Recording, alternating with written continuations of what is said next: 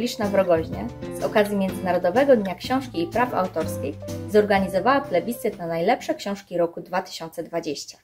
Zaprosiliśmy Państwa do oddania głosów na najlepsze tytuły, które zostały zakupione do naszej biblioteki w roku 2020.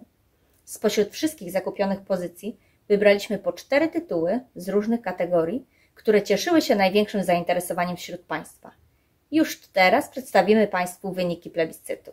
W kategorii literatura dla najmłodszych zwyciężyła książka Justyny Bednarek Koty i kotki. W kategorii literatura obyczajowa pierwsze miejsce zajęła książka Doroty Gąsierowskiej Pamiętnik Szeptuchy.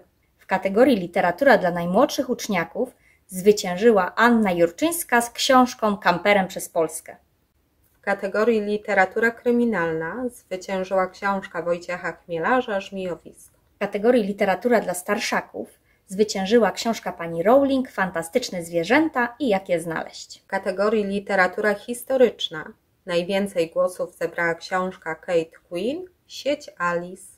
W kategorii literatura młodzieżowa najwięcej głosów zebrała książka Ebi Jimenez To tylko przyjaciel. W kategorii literatura fantastyczna zwyciężyła książka Remigiusza Mroza Chór zapomnianych głosów. W kategorii komiks zwyciężyła książka Marcina Podolca Bajka na końcu świata Ożywczy deszcz. W kategorii publicystyka literacka najwięcej głosów zdobyła książka Katarzyny Nosowskiej Powrót z Bambuko.